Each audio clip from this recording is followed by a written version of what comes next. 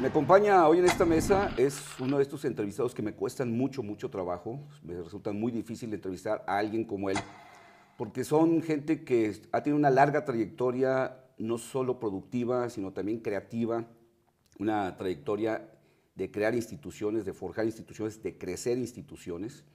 Y bueno, alguien que ha sido médico, que ha estudiado posgrados, que ha formado a muchos médicos, escritor en sus ratos libres, que deben ser pocos, hasta donde yo entiendo un gran lector, pero además ha sido rector de la Universidad Nacional Autónoma de México, de la UNAM, en dos periodos, dos veces subsecretario en gobernación, ha ocupado muchos, muchos cargos y al día de hoy es actualmente el secretario de Salud del Gobierno de la República. Me acompaña hoy el doctor José Narro Roles. Doctor, Muchísimas gracias. Me cuesta mucho Gilberto. trabajo presentar a alguien como usted. No, no, no, al contrario. Pues ya, ya la hice. Este, estoy seguro que va a ser una conversación extraordinaria. Ojalá que Muchísimas gracias por estos eh, eh, comentarios, por la generosidad de esos planteamientos y estoy a la orden y lo confieso. Soy presunto responsable. Usted sí es presunto responsable de muchas cosas. Muchas. Y de muchas ya ni siquiera presunto, ha sido responsable real. Absoluto, Así completo. es. Confeso. Pues si me permite, me gustaría empezar por algo que no sé si fue un accidente, fue un asunto temporal. Usted nace en Saltillo, Coahuila, pero se queda muy poco tiempo Sí. en su tierra natal. Sí, yo, yo nací en Saltillo, Coahuila, por una razón muy simple. Mi padre es, eh, o fue, saltillense, él nació también como yo en, Saltillo. Y había el- el- la idea, el compromiso eh, en la familia de que mi madre con frecuencia, cuando se embarazaba, ella no es, fue, no fue oriunda de Saltillo, pero iba a parir Ajá. a Saltillo. Entonces, ese soy yo, el primero de ocho hermanos. eh, y, y bueno, pues sí, estuve nada más primer año de primaria ahí, segundo ya no lo hice en Saltillo, pero tampoco en la Ciudad de México, lo hice en Átil, Átil, Sonora, y en tercero de primaria sí ya vine acá. Pero mis raíces, mi origen, mi abuela vivía ahí en, en Saltillo, eh, la familia de mi padre vivía en Saltillo, Coahuila, de ahí soy yo. Y bueno, acá llega con... ¿Crece con la vocación de ser médico o la fue desarrollando? No, eh, crezco con, con la, con la imagen Sí. del padre, La imagen paterna. quien es médico, y en un momento en el que la verdad eh, era una medicina y una práctica médica diferente, Gilberto. Eh, mi padre atendía en su consultorio aquí en la Ciudad de México y mi padre hacía visitas a domicilio y yo lo acompañaba, el mayor de los hijos, pequeño, y yo veía cómo trataban al médico, el cariño que El le tenían al médico, el respeto la- que había, la esperanza la, que generaba, esperanza sí. que generaba, eh, trataban muy bien al, al- al- al hijo, mientras mi padre veía al, a su Sí. enfermo, a mí me atendían bien, me daban un refresco, me ofrecían chocolatito, un un chocolate, un pan, nos invitaban a que nos Sí, sí, sí. quedáramos. O sea, no solo le pagaban, no solo le No pagaban le al médico, aparte llévese esto, llévese llévese esto, sí, claro. llévese aquello y traiga al niño y qué Sí, una muy bueno buena etapa vino. de la medicina. Sí, una Muy medicina humana, muy cercana. Muy humana, muy cercana a la familia. Y ahí, pues, identifico que esa, seguramente, después de la de beisbolista, debe ser una gran profesión. debe ser, sí. ¿no? Y entonces aprendo a amar el béisbol, pero empiezo a entender que en la medicina hay probablemente un camino y desarrollo a la sombra, yo digo a la luz de mi padre, una- un afecto importante por esa profesión y la pongo en la lista de posibilidades. Y así crezco en la primaria, así paso la secundaria. ¿Públicas? Y cuando llego, toda mi formación, Gilberto, es en la educación pública de este país. En escuelas muy buenas, mi Sí. primer año de medicina en Saltillo, de medicina, De de, primaria. primaria, eh, en- en- allá en Saltillo, en la escuela anexa a la normal superior. El segundo en una escuela rural. El tercer año, cuando llegamos aquí a la Ciudad de México, en una espléndida, esplendorosa escuela, la Benito Juárez. Cuarto también.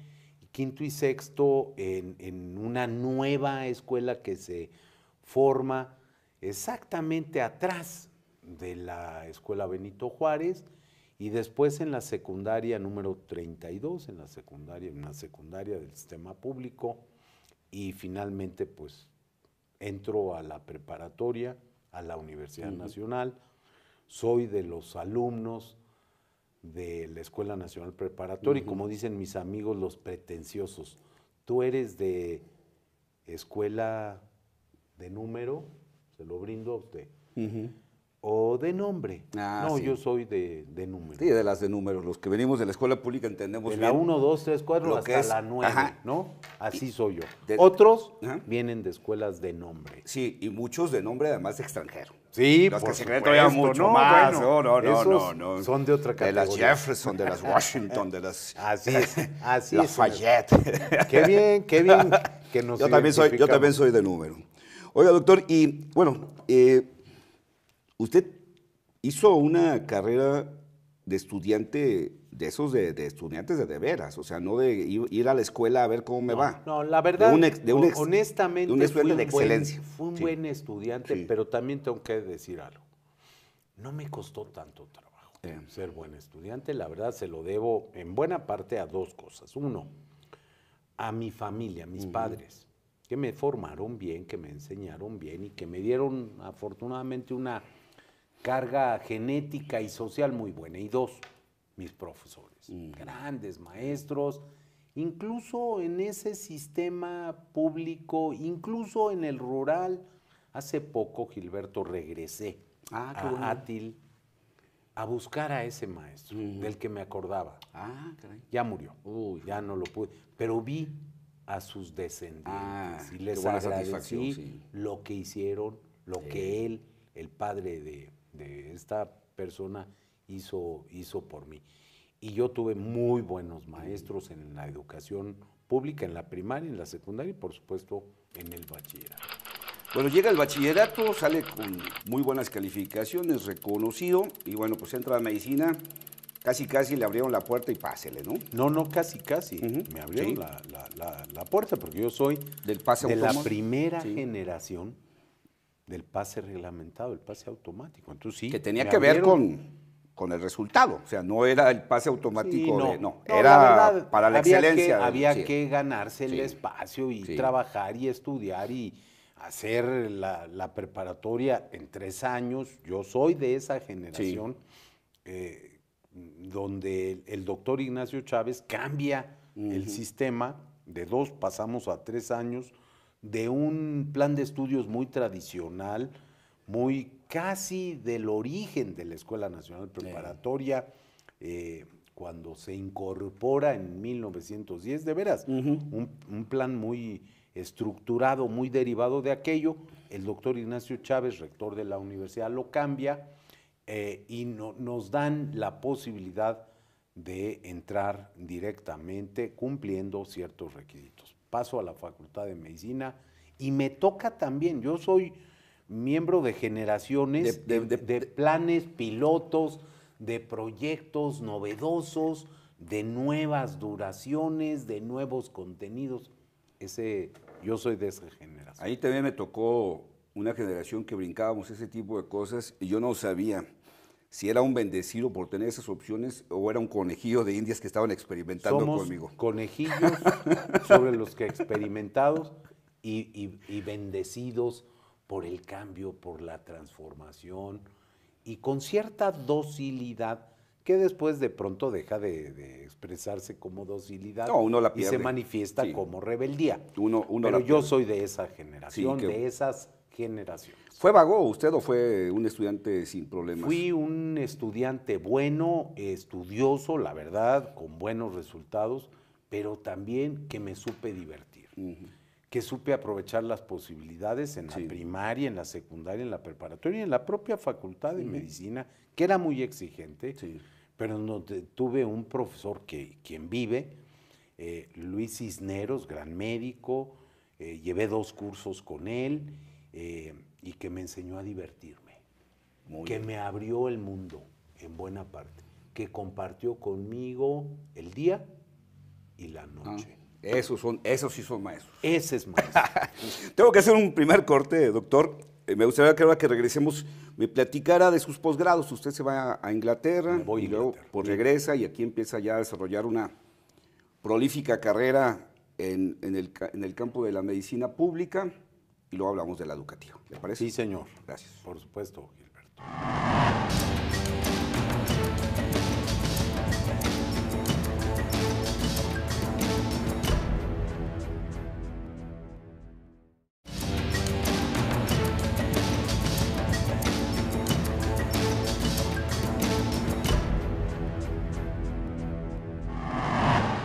Aquí con el doctor José Naro Robles, secretario de Salud del gobierno mexicano. Bueno, pues usted termina en medicina aquí, vuelve otra vez a salir con, con distinción como, como alumno reconocido, distinguido.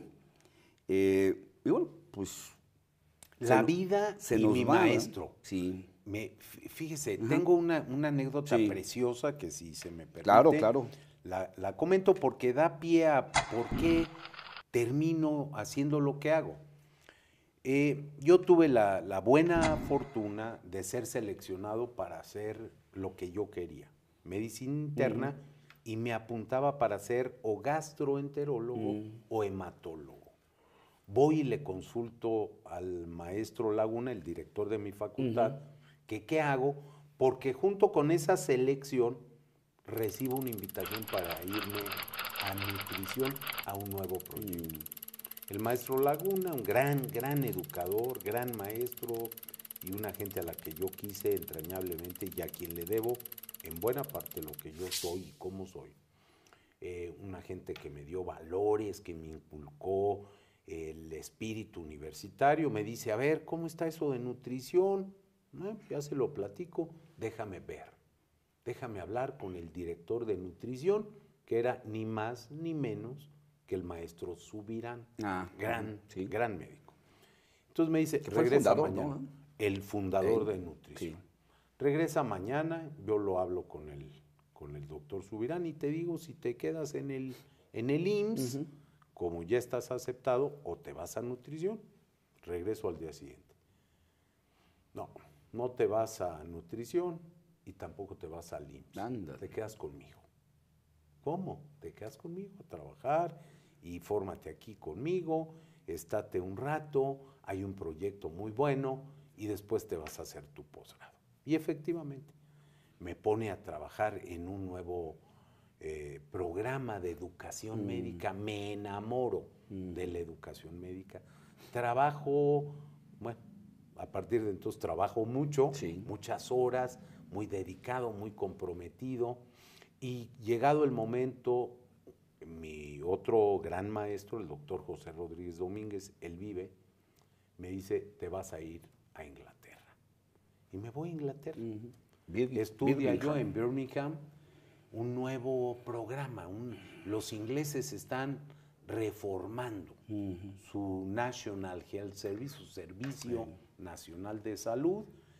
Hay una nueva Disciplina, disciplina, Community Medicine en inglés, que sería el equivalente a nosotros a salud pública. muy parecido a la salud pública. Les cuesta a los ingleses tomar el camino de la salud pública. Habían tomado el camino de la medicina social, pero están transformando el, el sistema, el, el programa, el na- eh, Servicio Nacional de Salud, y forman a un community physician, un médico comunitario. Muy diferente a lo que nosotros entendemos, más en el campo de la salud pública y en mi caso, en un programa extraordinario, en el que participan varias universidades de una región del West Midlands, es la región de los servicios de salud, y entonces me toca la fortuna de prepararme con un gran, gran epidemiólogo, George Knox, en Birmingham, como base, y con muchas universidades. Estuve en Bristol, en Southampton, en, por supuesto, en Oxford, donde tuve clases con un gran, gran, uno de los más grandes epidemiólogos, Sir Richard Dole. Eh, en, en, Londres tomé cursos, en Reading. Eh, fue francamente maravilloso. Me formo ahí a lo largo de dos, dos años y medio.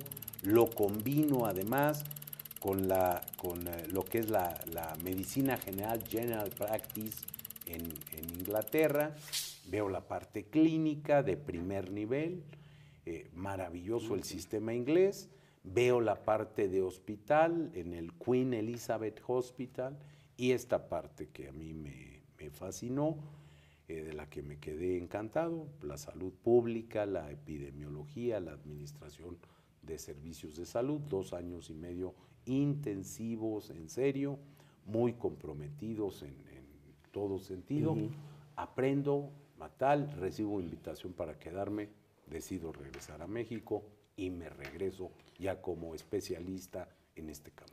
Pero además llega aquí y empieza también una, una etapa muy importante porque sí, también se convierte ya en formador de médicos. Ah, sí. Ya había yo, cuando me fui, si recordamos antes del corte, el campo de la educación médica. Y entonces recibo aquella formación de posgrado, aquella fuerza que me dan los ingleses, una cultura maravillosa, extraordinaria, una trayectoria, una tradición.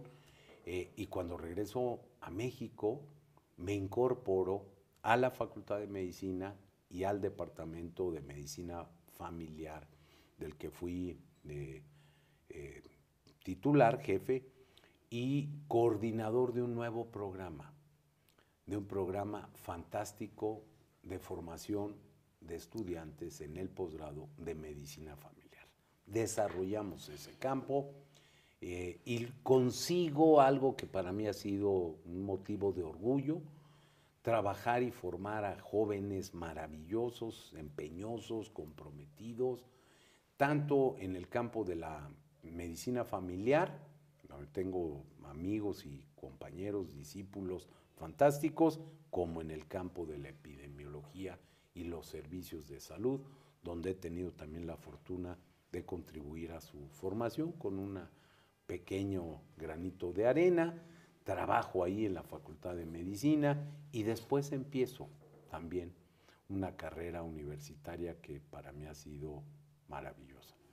Soy culpable. Sí, ahí es totalmente Soy culpa. No presunto, también culpable. Y llega a dirigir la facultad en dos periodos, ¿no? Llego a ser director de la Facultad de Medicina, el primer periodo completo, el segundo no lo termino. No termino mi segundo periodo como director de la Facultad de Medicina porque la Junta de Gobierno me invita a platicar con ellos y me designan rector de la universidad.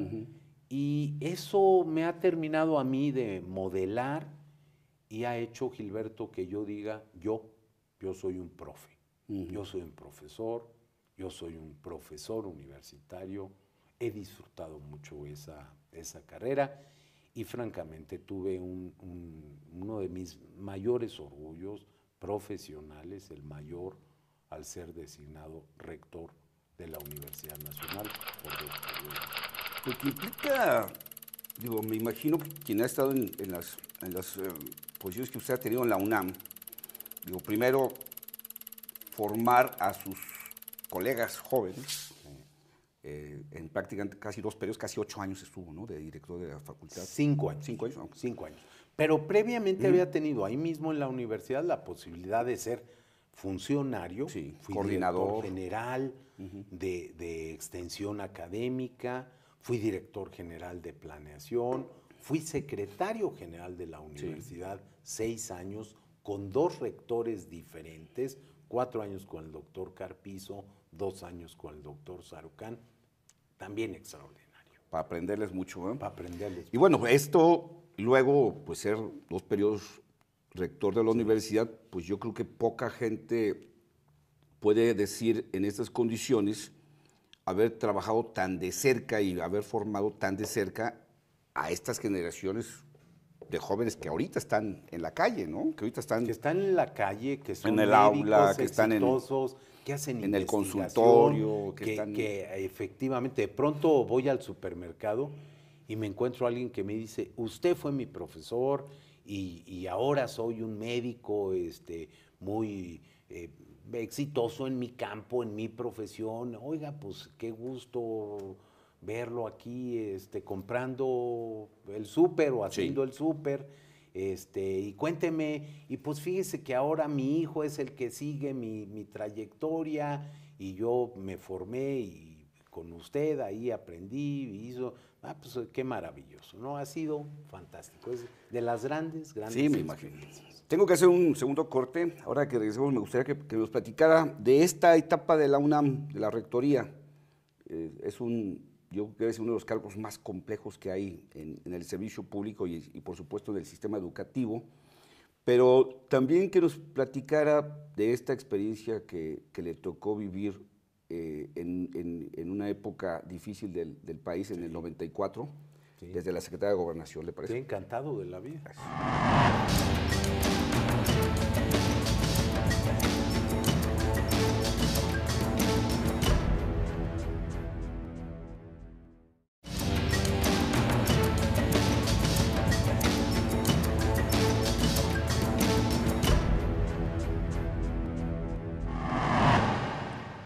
Continúo aquí con el doctor José Naro Robles en esta interesante plática, en la que estamos pues dando unos brincos muy grandes, doctor. Es que también usted tiene la culpa, ¿para qué hace tanto? No, usted, ¿para qué, ¿para qué me pregunta esas cosas?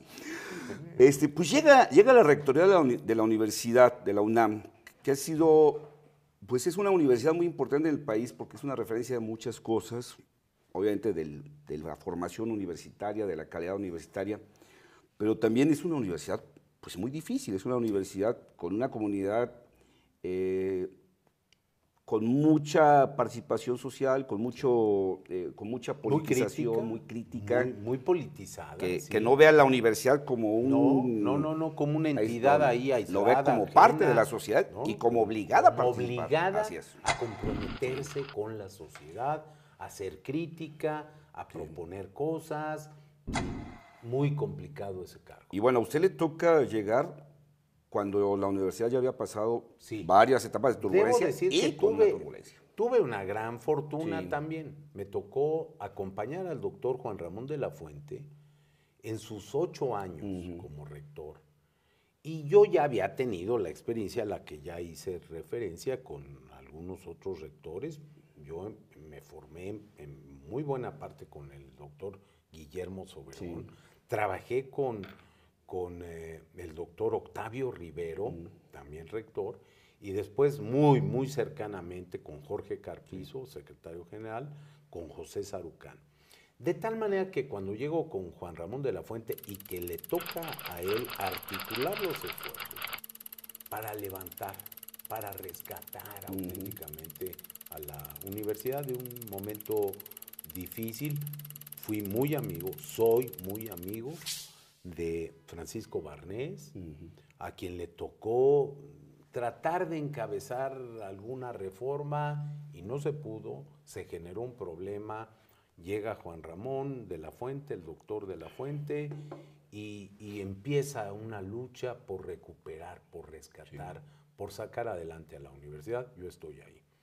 Eh, y después como rector tengo la suerte de que ya me toca una, una universidad recuperada. Digo eh, las cosas como, como son y tengo la gran, el gran orgullo, Gilberto, de que mientras yo fui rector no hubo un solo día, uno, en donde toda la universidad estuviera cerrada. Después de que tuvimos una universidad que por más de nueve meses estuvo cerrada.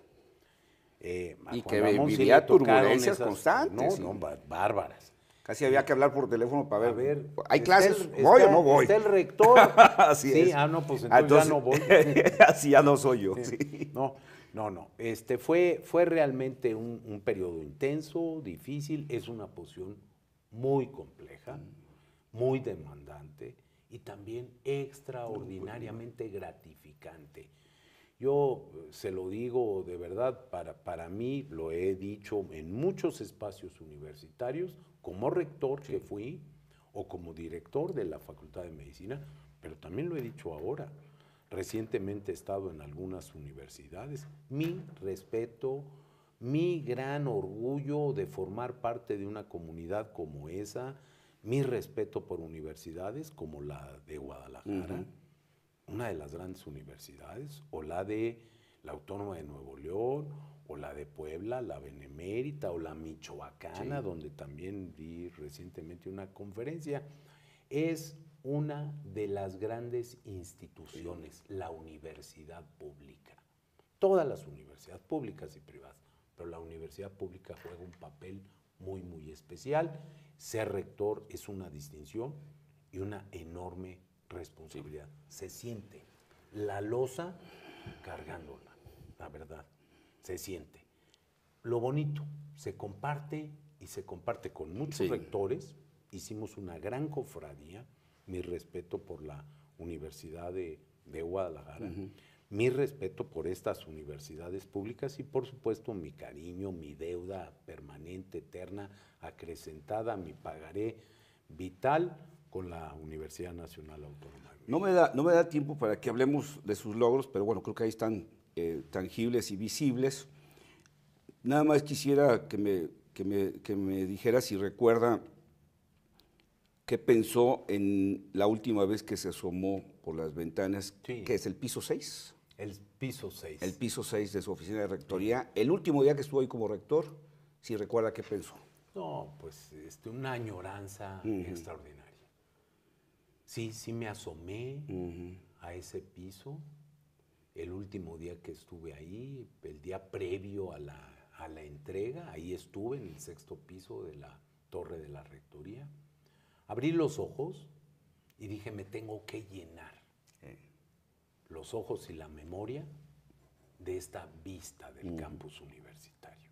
Ya había sacado mis cosas, ya mi bueno, la oficina que ocupaba y que ocupa el rector de la universidad. El rector sigue ahí, ¿eh? Lo que pasa es que yo ya no sí, soy. Nomás ya no se llama José Narro. ya no se llama José Narro, se llama Enrique Grau, es un gran amigo mío, es un, un agente a quien conozco desde que éramos estudiantes de medicina, por cierto, fantástico, pero quise llenarme de, de, de la fuerza y dije, es la última vez que como rector tienes esta... Me, asomo por esta. Me asomo desde el sexto piso para ver, para recordar y me pasaron muchas, muchas, muchas.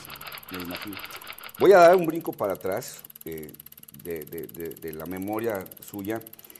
Eh, porque, bueno, usted ha sido eh, educador en la UNAM, ha sido médico y ha hecho parte de la historia del sistema nacional médico que tenemos en el país.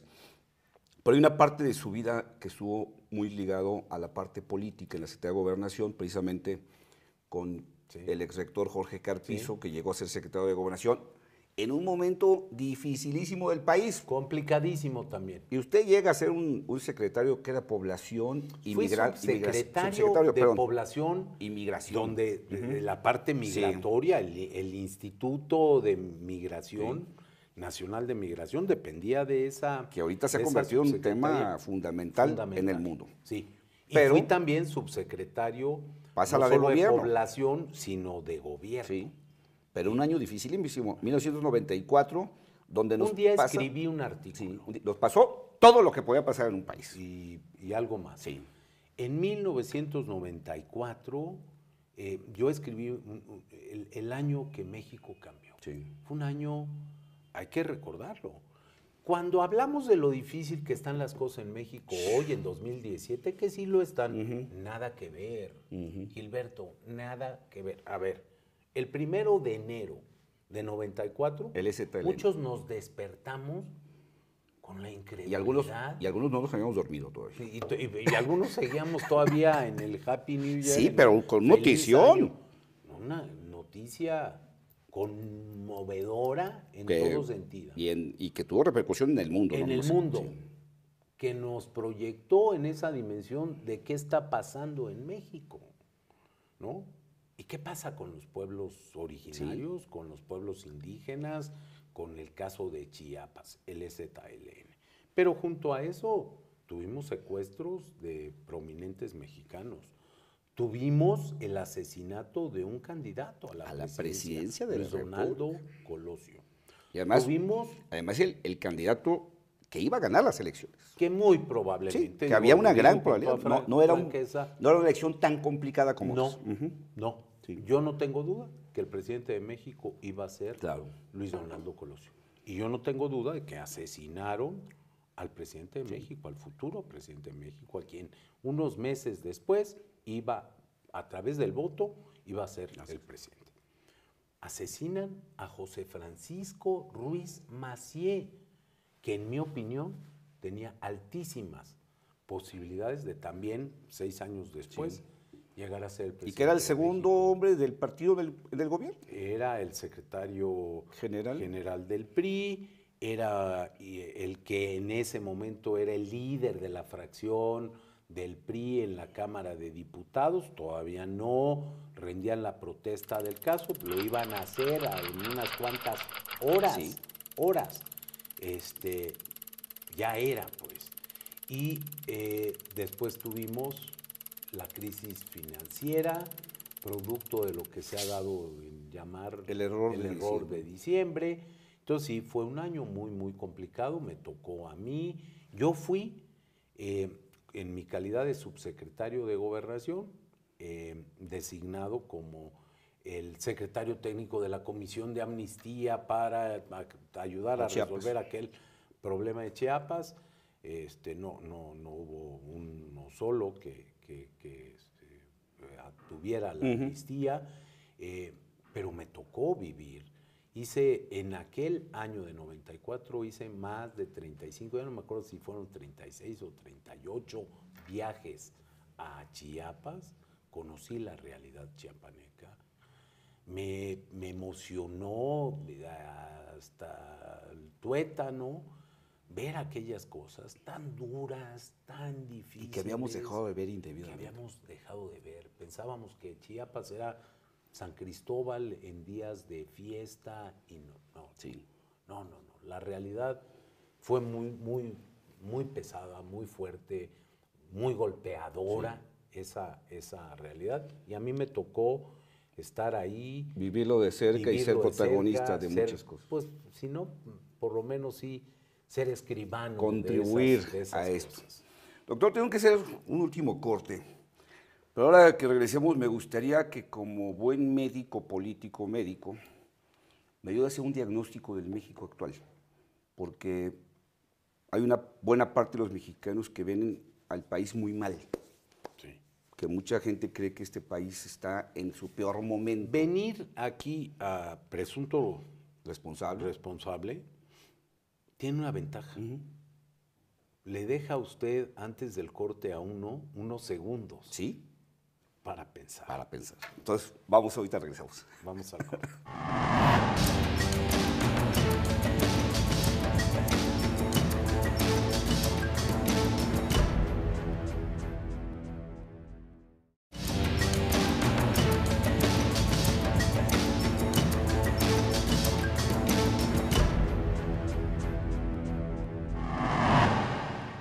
lo he comentado el doctor José Narro hemos tenido que hacer unos brincos muy rápidos porque una hora, insisto, se puede predicar muy poco de su larga trayectoria, pero bueno, yo diría así muy rápido de todo esto, de lo que nos ha platicado, además, pues ha contribuido con artículos que han sido parte de libros o de artículos eh, eh, sueltos en muchas publicaciones científicas, en muchos libros sobre la materia. Tiene una larga, larga colección de doctorados honoris causa y de reconocimientos por todos lados. Eh, pero desgraciadamente no me da tiempo para hablar específicamente pues, de su larga lista de reconocimientos y trofeos. Pero le decía, doctor, me gustaría que me, que me ayudara porque eh, creo que poca gente como usted tiene esta claridad de hacerle un diagnóstico al país con mucha objetividad. A veces nos apasionamos o vemos todo negro o vemos todo blanco. ¿Cómo ve usted al país ahorita? Eh, Gilberto, gracias, enfermo? Gracias, gracias por darme esta oportunidad. Eh, debo decir, y no estoy todavía despidiéndome, ni quiero gastarme los segundos de este bloque, eh, pero muchas gracias por la, por la oportunidad, muchas gracias por permitirme hablar algo de mí, eh, muchas gracias por permitirme hablar de mí y hablar de la universidad, de las universidades públicas, hablar de México. Y ahorita voy a aprovechar eso. México es un gran país ese es mi argumento número uno. México es un país que tiene una grandeza producto de la cultura, producto de la historia, producto de su desarrollo, de su biografía. Y México es un país muy grande. A ver, dos millones de habitantes, dos millones de kilómetros cuadrados y 124 casi millones de habitantes, no son pocos. No, pues. ¿no? Y podría yo dar muchísimos datos de la demografía, podría dar datos de la geografía, de la extensión, de la economía, de los litorales, de las cosas que definen y perfilan a este gran país. México es un gran, gran país. ¿Tiene problemas? Sí, sí tiene problemas. Y algunos, y es lo más doloroso, algunos son prácticamente de siempre. Sí. No son del siglo XXI. La pobreza no se inventó en este siglo. La desigualdad no es de hace 80 años. La desigualdad la refiere en sus sentimientos de la nación. Morelos. Morelos. Habla de esta necesidad de atemperar la opulencia y la indigencia.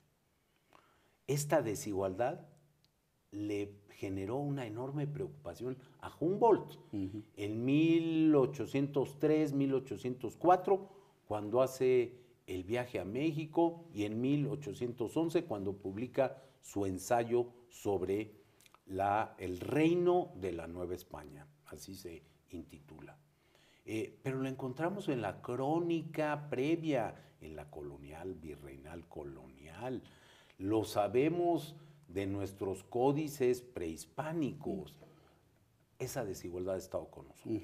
¿Hay desigualdad en México? Sí, sí hay.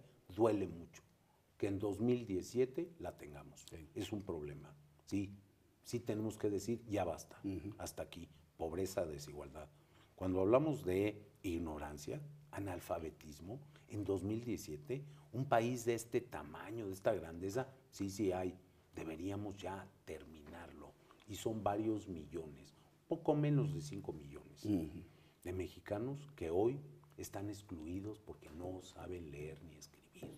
Y podemos hablar de corrupción, de impunidad, de enfermedad prevenible, de muerte que era evitable. Sí, hay problemas, pero este es un gran país. No hay muchos países como el nuestro que tengan lo que nosotros tenemos. Tenemos instituciones, tenemos una democracia que es mejorable, sin duda alguna, pero que ahí está, que funciona.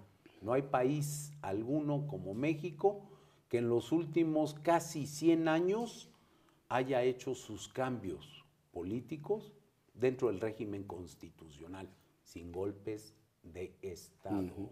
Con continuidad democrática. Con continuidad constitucional democracia debilitada en algunos momentos. De menos a más y... De menos, de mucho menos a, más. Y lo que nos falta, porque todavía falta, falta construir. Pero México no está enfermo. México tiene problemas que se tienen que resolver. Pero México es un país vigoroso, generoso, con recursos naturales, con muchos recursos humanos. Doy un dato que a mí me encanta, porque es de educación, de educación superior. En 1950, yo nací dos años antes de esa fecha, yo soy de 1948, en 1950, Gilberto, este país tenía poco menos de 30 mil estudiantes universitarios en licenciatura y en posgrado. Hoy tenemos casi 3.7 millones de jóvenes estudiando una licenciatura o un posgrado, una maestría, un doctorado, una especialidad. Entonces, este país tiene vigor, tiene fortaleza, tiene instituciones, tiene democracia, tiene valores fundamentales de la República, tiene libertad. La clase política que ahorita goza tal vez el peor momento en la historia de México en respecto a su relación con la sociedad, ¿está podrida? Sin duda no. Hay gente que está mal, sí. Hay gente que está podrida, sí. lo, lo, vemos. Yo no puedo aceptar, y a mí me parece que es terrible lo que, lo que pasa con algunos políticos. Por eso están en la cárcel, por eso están señalados, por eso los han andado buscando o los siguen buscando y los van a encontrar. No tengo ninguna duda. Y tienen que dar la, la cara. Porque no se vale, no se vale usar las finanzas públicas para fines personales. Las instituciones sociales, políticas, democráticas para beneficiarte, las de cultura. No se vale hacer a un lado a universidades como la veracruzana y regatearle el presupuesto y usarlo en beneficio público. Es un crimen mayor todo eso. Es un crimen mayor.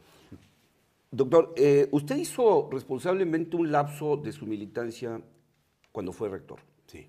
Pero usted siempre, usted siempre se reconoció hizo ese acto de responsabilidad que creo que me, parece que hizo lo adecuado, decir, bueno, acá no tengo por qué meterme en esto, pero regresó a su militancia. Y creo que una de las cosas que también no pasan por un buen momento es la reputación del PRI en la sociedad mexicana.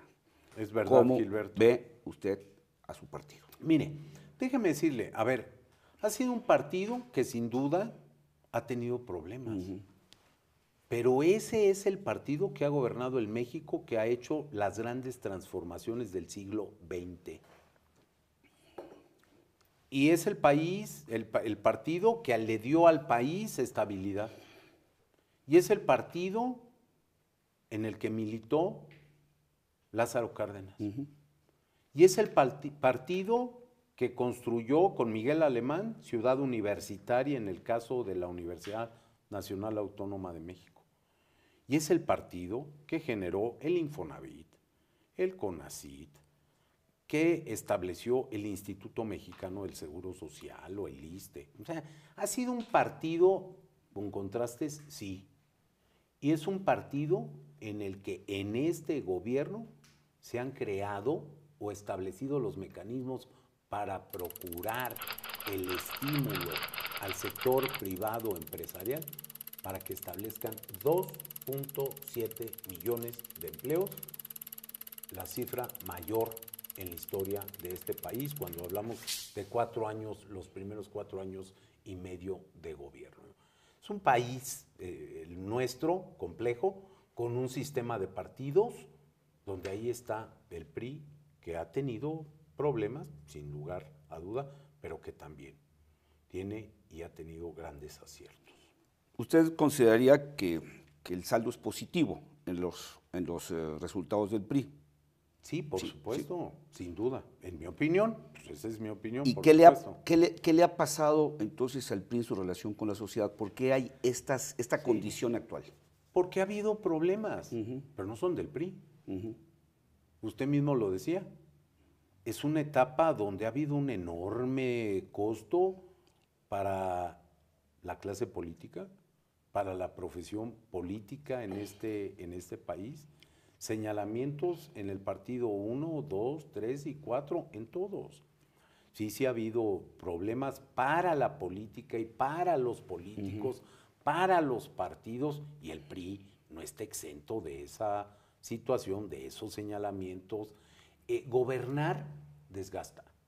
Y desgasta al gobernante y desgasta al partido que está en el gobierno. A veces la clase política ha cometido un error y hoy lo decía. Los más críticos, los críticos más feroces, despiadados, son los políticos entre ellos mismos. Y es un algo muy espectacular, porque en general, en las distintas profesiones y oficios, hay cierto respeto al compañero de profesión o de oficio. Menos en este. En esta no, hay ninguna consideración. Hombre. se tratan como, no como adversarios, no, no, no, no. como enemigos, enemigos jurados. Completos. Y aquí hay algo que yo sí quiero decir. Así como Martí dijo, y tenía razón, que honrar honra, también le digo a los políticos, deshonrar, deshonra. Sí. Doctor, usted tiene un diagnóstico del país que ya nos platicó en parte, y bueno, desgraciadamente el tiempo ya se me fue. Pues hay menciones, hay encuestas, pues que dicen que tal vez el doctor Narro puede ser el médico que cure esos males que tiene México. ¿Lo siente? También lo he dicho, si esto, si esta conversación, si este programa, Gilberto, que estamos hoy grabando, pasa dentro de seis meses, voy a estar en un, eh, haciendo un comentario desacertado. Como sé que no es el caso, voy a ser políticamente correcto y acertado. A ver, no, todavía no son tiempos. Falta. Faltan condiciones, falta convocatoria, faltan reglas, falta que evolucionen y pasen algunas cosas que tienen que pasar. Entonces, ¿qué es lo que yo, yo digo? Todo a su tiempo.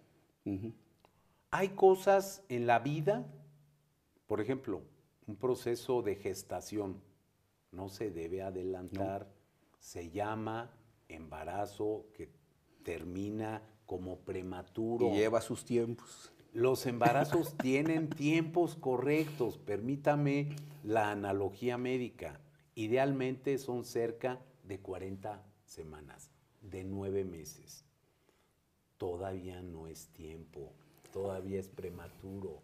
Dejemos que las cosas evolucionen, que maduren, que lleguen a su momento y cuando llegue, a ver, establezcamos un compromiso, ah, Gilberto que este programa me llame a cuenta. Perfecto. A cuento y a cuentas. Me parece muy bien. Y que yo comparezca aquí frente a usted en este escenario para ver si soy presunto responsable. O presunto candidato. No. más que para este parto falta menos de nueve meses, doctor. Falta menos, por eso, calma. Muchas gracias. Calma. Y muchas gracias por la oportunidad, de verdad. Ha sido una delicia. Gracias, doctor. La he disfrutado. Gracias.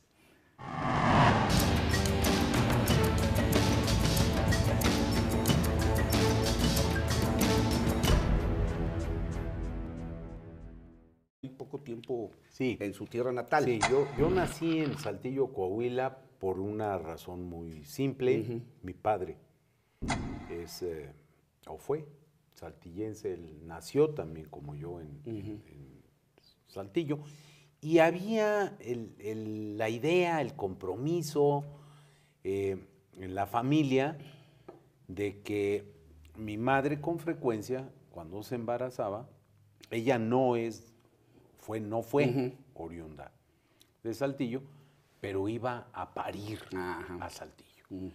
Entonces, ese soy yo, el primero de ocho hermanos, eh, y y bueno, pues sí, estuve nada más primer año de primaria ahí, segundo ya no lo hice en Saltillo, pero tampoco en la Ciudad de México, lo hice en Átil, Átil, Sonora, y en tercero de primaria sí ya vine acá.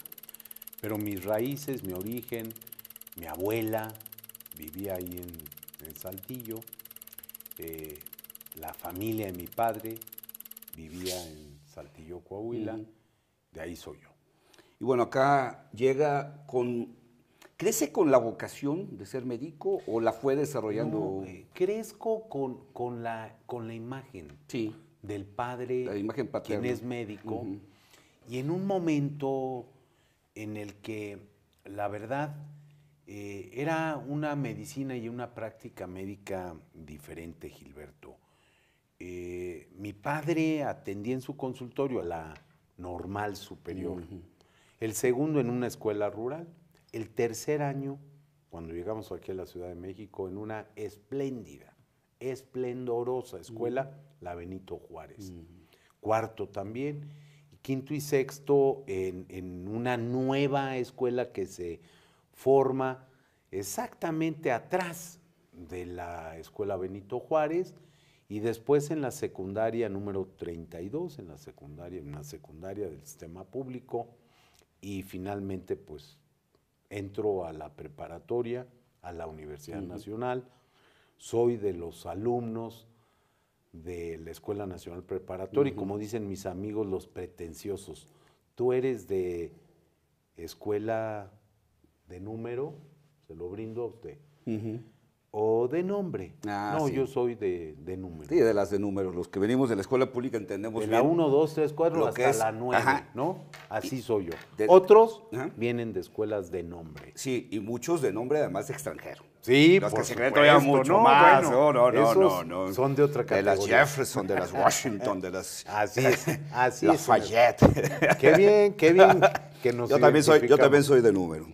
Oiga, doctor, y bueno, eh, usted hizo una carrera de estudiante, de esos de, de estudiantes de de veras, o sea, no de ir, a la escuela a ver cómo me va. No, la verdad, De un ex- de un ex- honestamente, de un estudiante fui de buen- excelencia. fui un Sí. buen estudiante, Sí. pero también tengo que decir algo.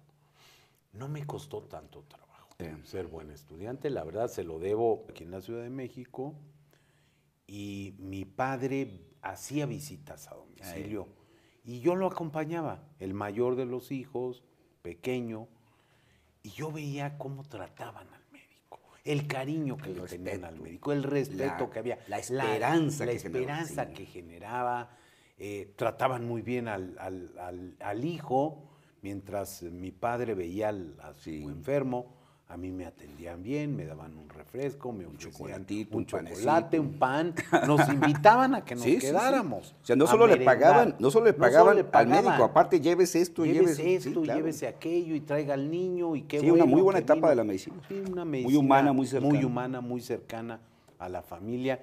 Y ahí, pues, identifico que esa, seguramente, después de la de beisbolista, debe ser una gran profesión. debe ser, sí. ¿no?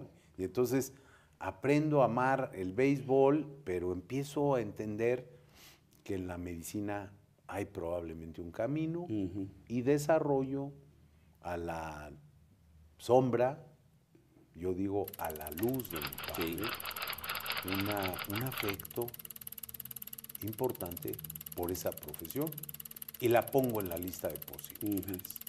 Y así crezco en la primaria, así paso la secundaria. Públicas. Y cuando llego, toda mi formación, Gilberto, es en la educación pública de este país. En escuelas muy buenas, mi Sí. primer año de medicina en Saltillo, de medicina, De de, primaria.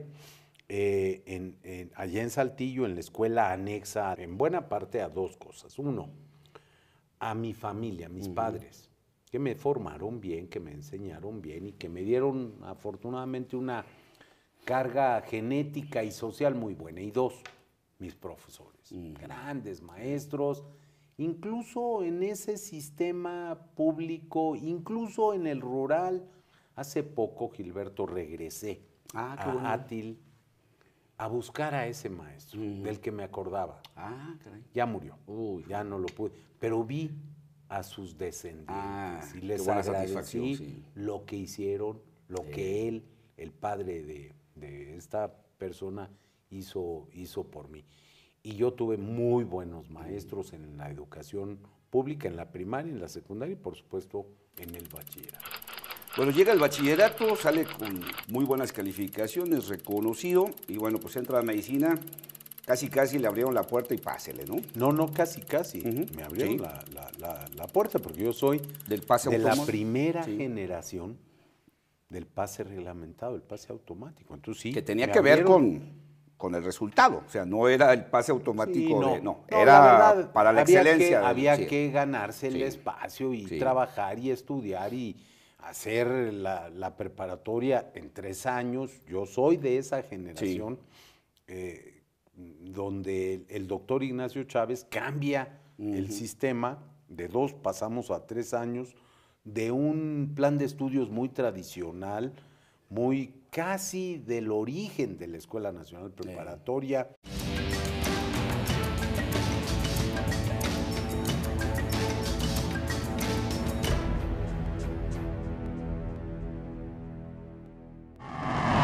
Quien me acompaña hoy en esta mesa es uno de estos entrevistados que me cuestan mucho, mucho trabajo. Me resulta muy difícil entrevistar a alguien como él, porque son gente que ha tenido una larga trayectoria, no solo productiva, sino también creativa, una trayectoria de crear instituciones, de forjar instituciones, de crecer instituciones. Y bueno, alguien que ha sido médico, que ha estudiado posgrados, que ha formado a muchos médicos, escritor en sus ratos libres, que deben ser pocos, hasta donde yo entiendo un gran lector, pero además ha sido rector de la Universidad Nacional Autónoma de México, de la UNAM, en dos periodos, dos veces subsecretario en gobernación, ha ocupado muchos, muchos cargos y al día de hoy es actualmente el secretario de Salud del Gobierno de la República. Me acompaña hoy el doctor José Narro Roles. Doctor, Muchísimas gracias. Me cuesta mucho Gilberto. trabajo presentar a alguien como usted. No, no, no, al contrario. Pues ya, ya la hice. Este, estoy seguro que va a ser una conversación extraordinaria. Ojalá que Muchísimas gracias por estos eh, eh, comentarios, por la generosidad de sus planteamientos y estoy a la orden y lo confieso. Soy presunto responsable. Usted sí es presunto responsable de muchas cosas. Muchas cosas. Y de muchas ya ni siquiera presunto, ha sido responsable real. Absoluto, Así completo. es. Confeso. Pues si me permite, me gustaría empezar por algo que no sé si fue un accidente, fue un asunto temporal. Usted nace en Saltillo, Coahuila, pero se queda muy